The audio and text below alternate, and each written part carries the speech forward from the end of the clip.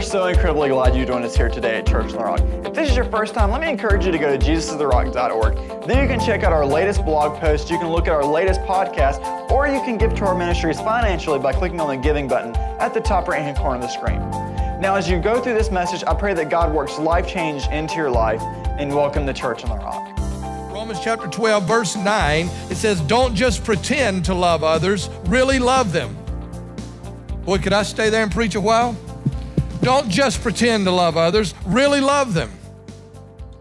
Hate what is wrong, hold tightly to what is good. Love each other with genuine affection and take delight in honoring one another. Take delight in honoring one another. Never be lazy, but work hard and serve the Lord enthusiastically. Rejoice in our confident hope. Listen to this be patient in trouble and keep on praying. Be patient in trouble and keep on praying. When God's people are in need, be ready to help them. Always be eager to practice hospitality. Bless those who persecute you. Don't curse them. Pray that God will bless them. Be happy with those who are happy and weep with those who weep. Live in harmony with each other. Don't be too proud to enjoy the company of ordinary people. Wow. Don't be too proud to enjoy the company of ordinary people and don't think you know it all. I could preach a series on that. Never pay back evil with more evil. Do things in such a way everyone can see you're honorable. Do all that you can to live in peace with everyone. Dear friends, never take revenge. Leave that to the righteous anger of God. For the scriptures say, I will take revenge. I will pay them back, says the Lord. Instead, if your enemies are hungry, feed them. If they're thirsty, give them to drink. In doing this, you'll heap burning coals of shame on their heads. Don't let evil conquer you, but conquer evil by doing good. Wow. That is such a powerful passage. I'm really going to focus on just one little verse, verse 18 this morning, probably the shortest one in all this. It says, Do all that you can to live in peace with everyone. Now, that may sound so short and so simple, but there is so much in that little phrase. The King James says, if it be possible, as much as lies in you, or as much as it depends on you, live peaceably with all men. The title of my message this morning is The Long Walk Around the long walk around. And we're going to be dealing with the question how do you handle conflict? How do you handle conflict? The question is not will you handle conflict? I promise you, you will. You will. But how do you handle it? Now, in order to, to, to do this justice, first I had to define conflict. So I grabbed my phone, I Googled in definition of conflict, and here's what popped up a serious disagreement or argument, typically a protracted one. In other words, it's not a one time thing. It goes on and on and on. You're arguing about the same thing for days and weeks and months and years. It's a protracted one. The second definition said to be incompatible or at variance, to clash. To clash. Anybody ever clash with anyone? It don't matter what topic it is. You just clash. You just you just clash with them. Here are some of the synonyms of conflict dispute, quarrel, squabble, disagreement, dissension. So you get the idea. Now, the question before us is how do you handle conflict? Not will you have conflict, you will. You ever been married? You ever have kids? You ever had teenage kids? You ever had a mother in law? Brother in law? Sister in law? Brother, sister? Best friend? Worst enemy? Yeah, we all experience conflict. Some people experience it more than others. Some people seem to be drawn to conflict. Some people seem to enjoy conflict. Other people will avoid conflict at all cost. Some conflict can be healthy. Can be healthy and can produce great results. Today about 5:30, Millions will gather around the television to watch a conflict between the New England Patriots and the Denver Broncos, the Super Bowl. Conflict of all conflicts. Hopefully, that'll be good sportsmanship, good game. Other conflicts are not so healthy. They're destructive. They can destroy relationships. They destroy friendships. They destroy uh, families. They destroy churches. They destroy businesses. Conflict. They even destroy entire nations. You remember a little skirmish that started back April 12, 1861? Lasted almost four years to May 9th, 1865. We call it the Civil War. It tore this nation apart. It ripped us apart, the very fabric of our nation. I'm afraid today we find ourselves in a different type of civil war, one that once again puts our nation at odds with itself uh, and threatens to tear this nation apart again. We've become so polarized black and white, Democrat and Republican, the haves and the have nots. And we've so polarized ourselves to be on one side or the other. We're right, you're wrong. All of you are like this, all, all of them are like this.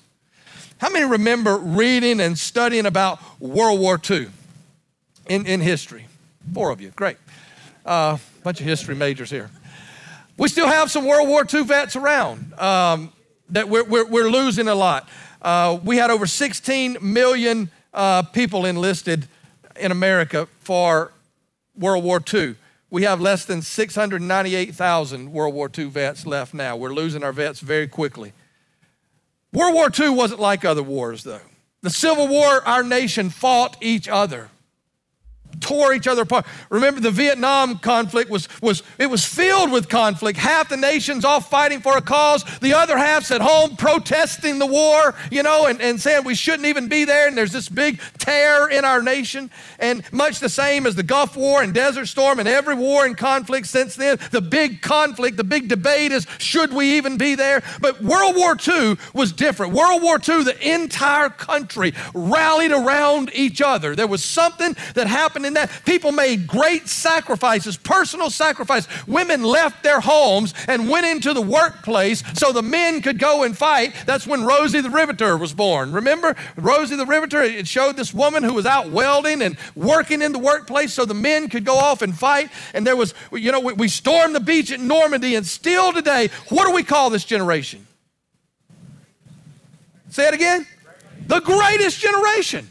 That's what they're known as. This was the greatest generation. Why? Because there was the absence of conflict within. We had conflict with the enemies, with the other nation, but, but this nation, there was such patriotism. They come together for a common cause. Now, what does all this have to do with us?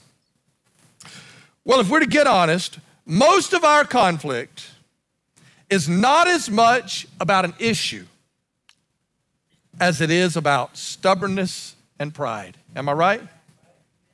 If we get honest, we have a need to be right. And that need to be right breeds things like bitterness, unforgiveness, anger, all of these things. And, and lifelong friends part ways over some insignificant issue because neither are willing to take that first step and try to understand why that other person may be angry or hurt and say, I'm sorry, I had no idea that I hurt you like that. Please forgive me. But the words too often never get spoken. Someone told me just before service this morning, they said that, that you know, part of my family's ultra liberal, part of them's very conservative, and my uncle came and, and they got into this conflict and it made my mother cry. That's not the end of the story. The worst part, he said, and the uncle was a pastor. I thought, yeah, that's the worst ones. Anyway, many, so many times, these words never get spoken. Why? Because of one of the seven things that God says, I hate. One of them is a proud heart. God says, I hate that stuff. I hate that stuff. I don't care if you think you're right, you're wrong just because of your attitude. The scripture says if you come to the altar and you remember that your brother has aught against you, he has some, not that you're mad at them, but if you remember they're mad at you, get up from the altar, go and try to make peace with that person, and then come back to the altar. But you do whatever you can, whatever is possible. Do what you can do to live at peace with all men. See, you may win the battle, but you're losing the war. You may win the argument, but at what price? A friendship? A relationship? Your marriage? Your children? Your church? Your job? At what price are you paying for the privilege of being right? The Greek word for sin, if you look it up in the Greek, I'm not a big Greek scholar and Hebrew scholar, but I've looked this word up, and the Greek word for sin is hamartia. It simply means to miss the mark. That's what sin in the English language means. It means to miss the mark. To miss the mark. And that makes a little more sense when you understand the Apostle Paul saying that this one thing I do, forgetting those things that are behind me and reaching forward to those things which lie ahead, I press toward the mark of the high calling of God in Christ Jesus. There is a mark there, and I do not want to miss the mark. I do not, because when I miss the mark, I sin when I miss the mark. And our problem is we don't just miss the mark, we're, we're shooting at the wrong target. We're trying to be right.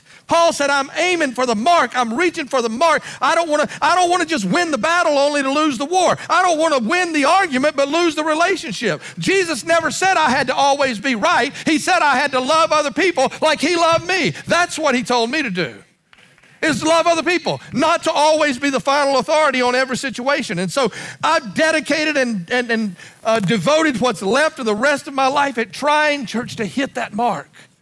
Trying to hit that mark. To love people like Christ loves me. Now, think about this. Paul wrote this in our text Do all that you can do to live in peace with everyone. Now, we may be inclined to say, yeah, that's easy for you to say. You're the Apostle Paul. All right, what do you know about conflict? And that's laughable. Because can I tell you, Paul knew more about conflict than it, most anybody else that I know of? Paul, if you remember, when his name was Saul, he killed Christians just for being Christians. He was the original ISIS. He was rooting out the Christian segment by genocide and killing them just because they were Christ followers. And when he saw the light, literally saw the light, and he was converted, now he's gone from being the biggest adversary of the church to the biggest advocate. That sounds great, but can you imagine? Let's look at it from the church side. Oh, yeah, I hear you, Paul, talking about your love and your grace and mercy. Where was that when you were stoning my father? You're going to talk to me about love when you killed my mother? You think there's not some room for some conflict there? I remember you. Don't stand up and tell me about how God, God this, God that. You were there. You took part. And then his old buddies, they look at him and they say, You traitor, you coward, you turncoat. How dare you abandon us as we're rooting out this sect of Christ followers and Christians? And now you've not only stopped doing it, you've become one of them. You've become their chief spokesman. So he's getting conflict. Paul knew something about serious conflict. It's no wonder he would say, This one thing I do, forgetting those that are behind me, forgetting the things I've done in the past, and looking forward to the things that lie ahead. I'm pressing toward a mark for the prize of the high calling of God in Christ Jesus. I don't want to I don't want to miss the mark. I don't always have to be right. I don't have to win the argument. I just want to keep my eyes on the mark and the prize that's set before me. Paul would say, I'm sorry for my past. I can't change what I did. I can only put it behind me and try to forget it and reach toward the mark that's been set before me. How many of you play golf? Boy, I have failed in my duties as a pastor. How many of you watch golf? Few more. I've never figured out how people watch golf that don't play golf because even for golfers, it's kind of boring. For non golfers, I don't know, you're just trying to get something to put you to sleep. Let me tell you something about golfers.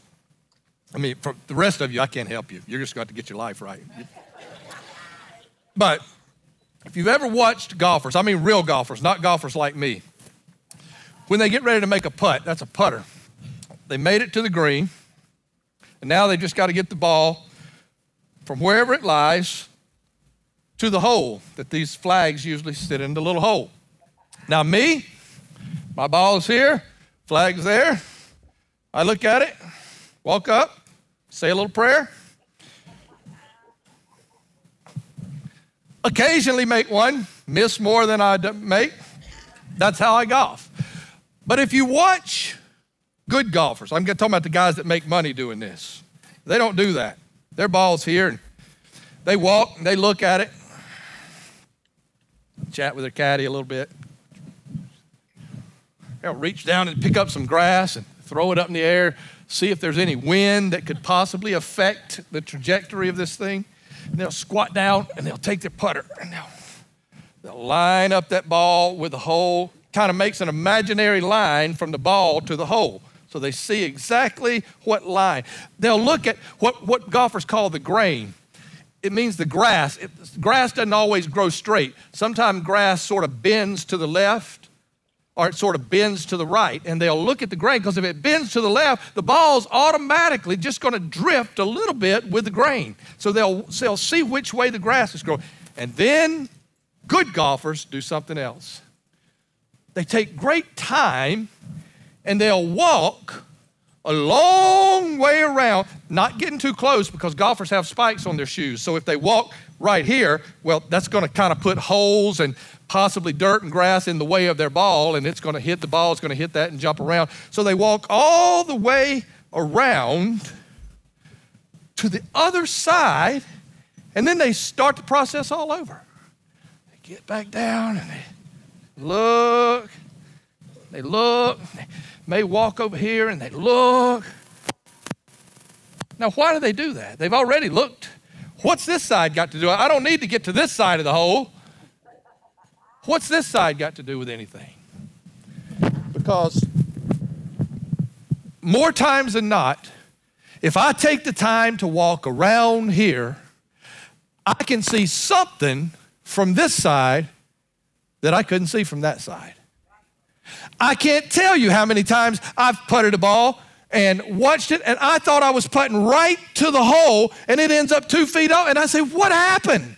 And then I make the long walk around. And I say, oh my gosh, I didn't see that. It has a downhill slope. I couldn't see it from that side. I get over here, I can see it fine. If I would have taken the time to make it to the other side and look at it before I putted it, I would have had a lot better chance of making the putt. That's what separates good golfers from the rest of us. Just a subtle little break, a little downhill turn. That's how they win at golf. And that, church, is how we win at relationships and resolving conflict. Are you willing to even look at the situation from the other person's point of view? Or are you just bent on being right and proving your point? Paul said we should live at peace with everyone if possible. That tells me one thing it's not possible to always live at peace with some people. Now, that's just the truth.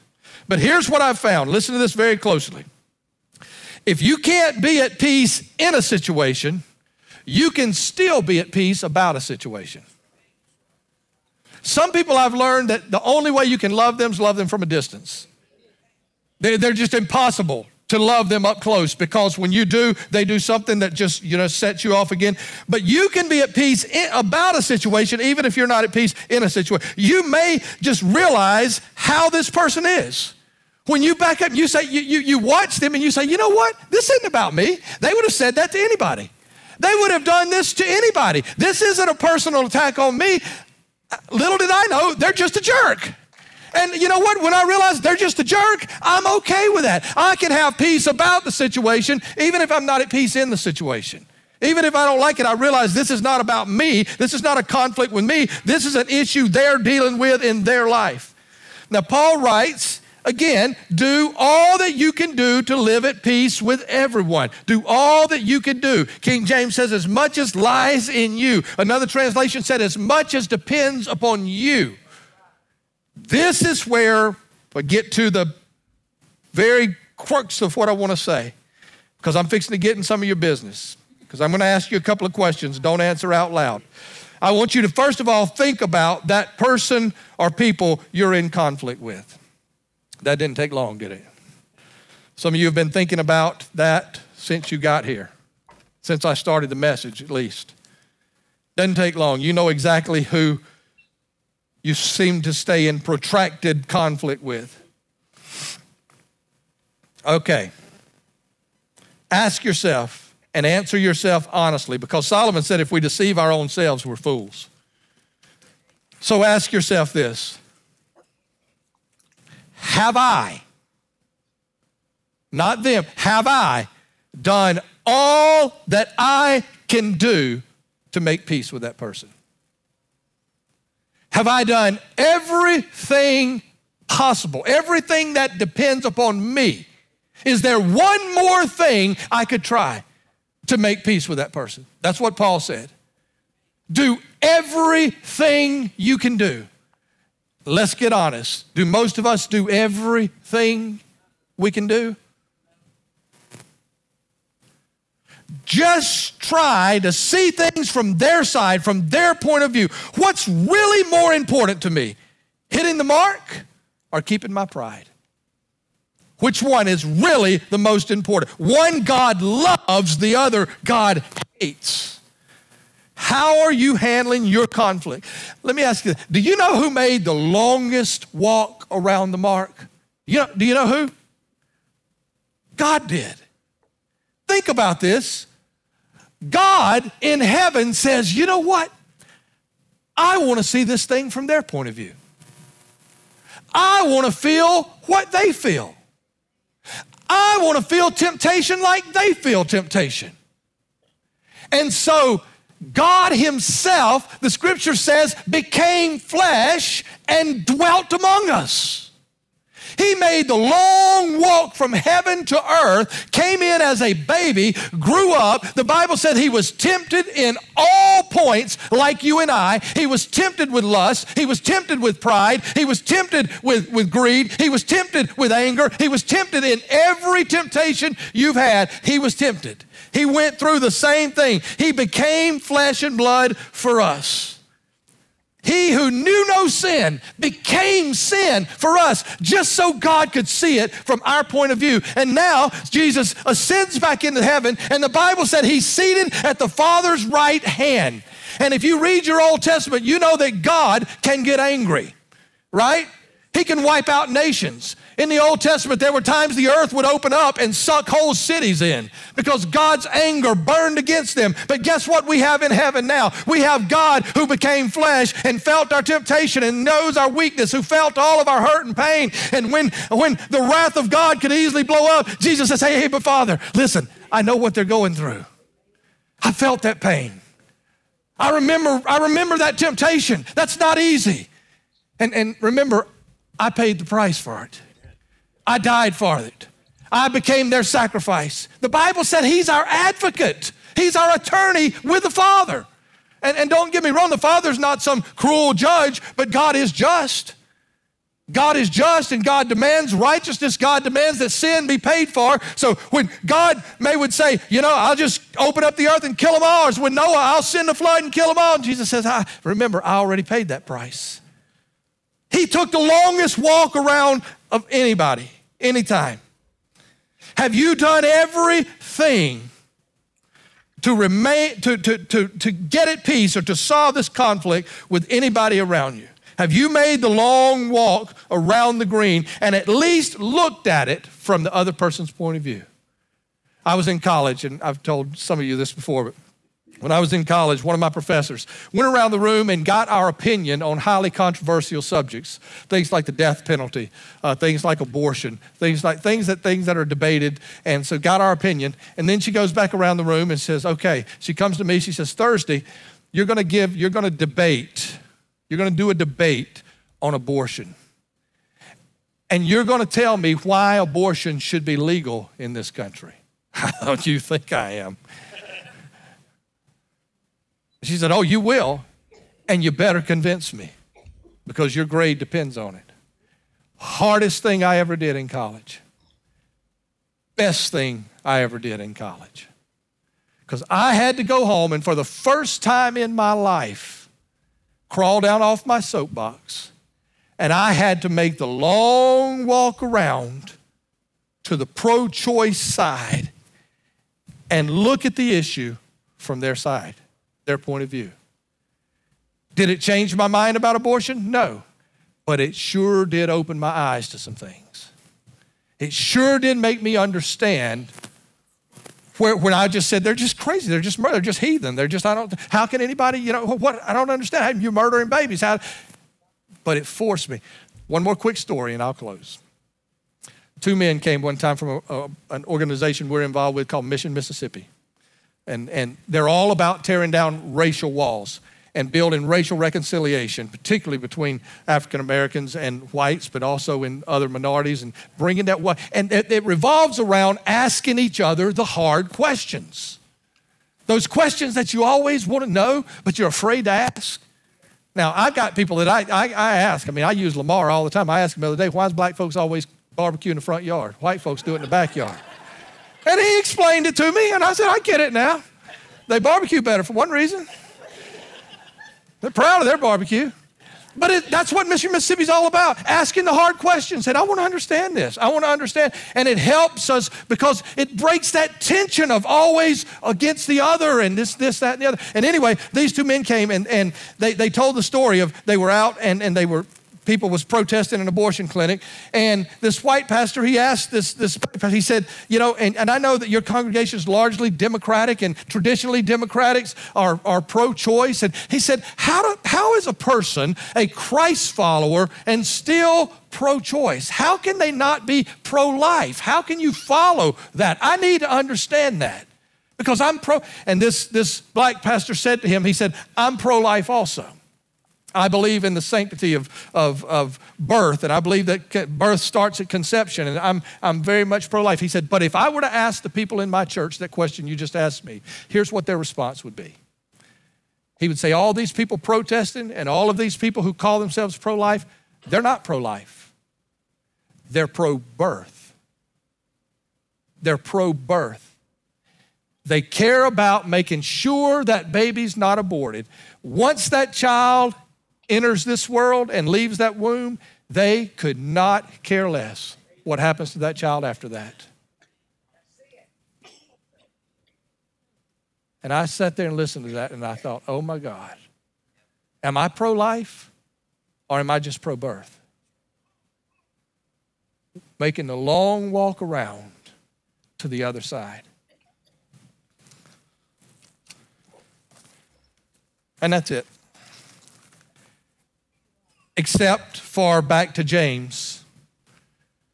The writer James, the brother of Jesus, said, Be ye doers of the word and not hearers only. Because he said, If you're a hearer only, you're like a man that looks in the mirror and sees dirt on his face. Says, Yep, that's me. My pride, my being right. That's what's been important to me, not resolving the conflict. I haven't done everything I could do. I'm not going to say I'm sorry. If they want, if they want peace, they can say they're sorry. I see that and then I walk away. James said, if you walk away, you soon forget that you had dirt on your face. You think, I'm right. I'm right. But he said, if you are a doer of the word, it's like looking in a mirror and you see that and you take time to wash that and say, I'm going to do something about this. I will not live the rest of my life in conflict with this person if at all possible, not as long as it's up to me. I will do everything I can do to make peace with this person. And when I make peace with this person, I make peace with God and I make peace with myself. Because when I'm in conflict with the other person, sometimes the other person doesn't even know. And if they do know, they don't care.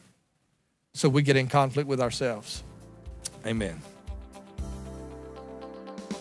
Again, we are so incredibly glad you joined us here today at Church on the Rock. Now, if this message encouraged you in any way, let me encourage you to go to jesustherock.org and let us know about it. Those type of messages encourage us as we work throughout the week. While you're there, check out our latest podcast or give to our ministries financially by clicking on the giving button at the top right hand corner of the screen. Again, thank you for joining us today and have a blessed week.